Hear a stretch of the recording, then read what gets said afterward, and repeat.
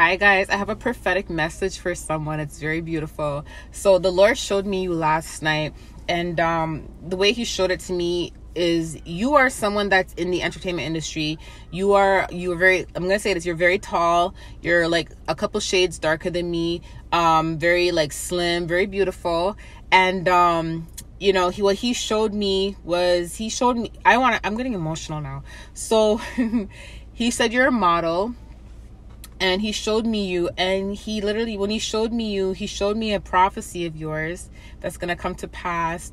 Um not past it's gonna come to pass not past um and he showed me that you're a model but he also showed me that you're also um in the entertainment industry as in like you go for auditions for movies and commercials and stuff like that right? And when he showed me what when he showed me you he showed me you he showed me two major directors looking at your resume for a movie role. And this movie role requires um fighting, like combat, right? Like fighting and stuff like that. And he showed me you fighting for at the audition, auditioning for the role. And what stood out to me about your resume, because he was looking at your res this guy was looking at your resume and, and someone else's, and what stood out to me about your resume was how you carry yourself. On your resume, the first thing that came up on your resume is elegance and sophisticated and classy. And that's what made you stand out from the other individuals is the way you carry yourself which means that not only was this was these these directors or casting directors not only were they just looking at your resume but they i feel like they've been observing you ahead of time right? Because the first thing on your resume was elegance elegance and classy and sophisticated. So I feel like, the, and then as I was reading it, I was reading it with them. Okay. As I was reading it with them, we saw visions of you like fighting and doing the combat role, but you were fighting with elegance. So it's kind of like you're very prissy and stuff, but at the same time, you were kind of like fighting, right? And I was like, I like her, you know, and that's what made you stand out from everybody else is the way you carry yourself which like i said which indicated to me that these directors these cast and call directors they were watching you from the beginning for a very long time. And um what really stood out to me as well was when after, after i read your resume and stuff with them i heard the lord say to me she's fighting just like you. That's why you're fighting in the movie role. She he said she is fighting just like you so when he said that, I knew right away that he was talking about warfare and he was talking about people trying to stop you know stop you from from elevating people trying to stop you from getting to the top. And i'm not sure what type of exact battles you're facing but i i know that when you are someone that is in the industry and you are someone that you know goes out there and, and auditions for roles in the industry oftentimes when you do have haters you'll have people out there that try to ruin your your reputation publicly so you don't get any type of job. So when they look you up online negativity comes with your name right? Even if you're not that type of person that's often what haters do. So when he was showing me that i'm like yeah she's probably going through what i'm going through. And he said she's just like you. So then i wasn't sure if i should put the prophecy out for you um because what the prophecy is is you know, first of all, I wasn't sure if I should put it out. And as I was waking up, he said, You have to. So I'm like, Okay. But the prophecy is what, what God told me is you got to keep fighting. And he also said that, um, you leaving now? My son's in the car. One second, y'all. My son didn't want me kissing him on camera. He's so embarrassed. Bye, baby. Love you.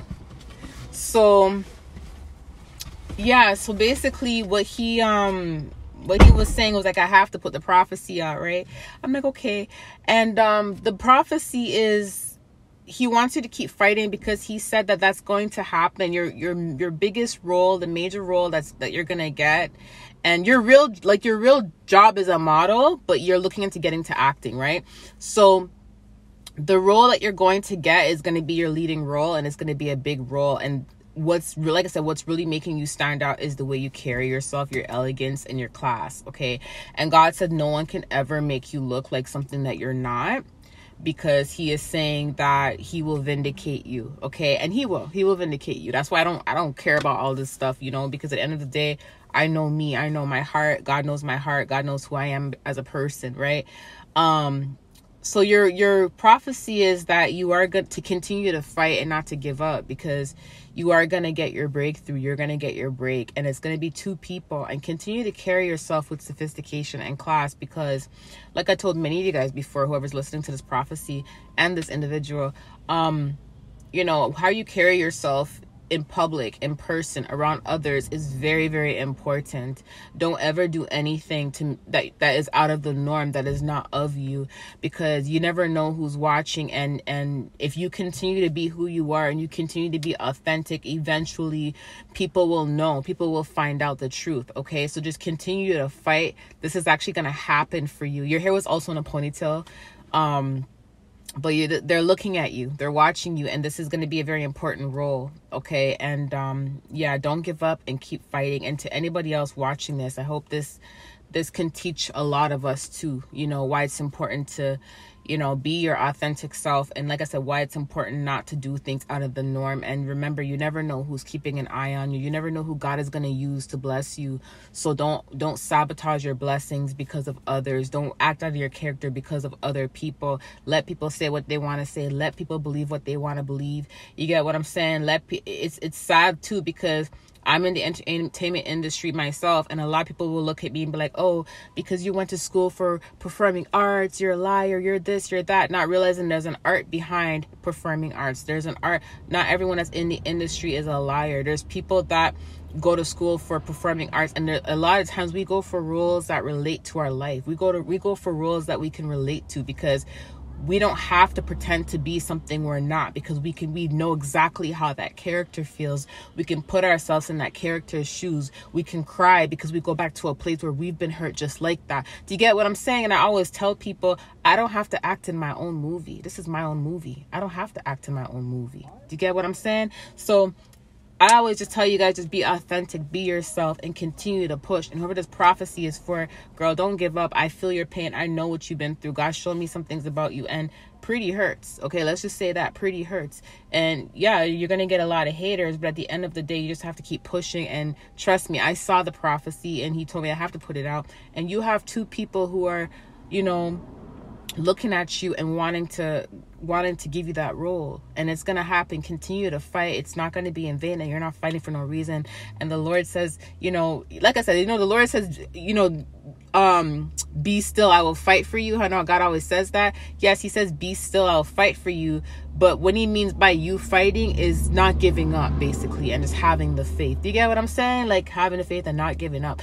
Because even though he told moses to be still i will fight for you he moses still had to use the staff. Moses still had to lead the israelites. So he was still fighting in a way but god was doing the heavier battles behind the scenes okay? I love you guys. I'll talk to you soon. Bye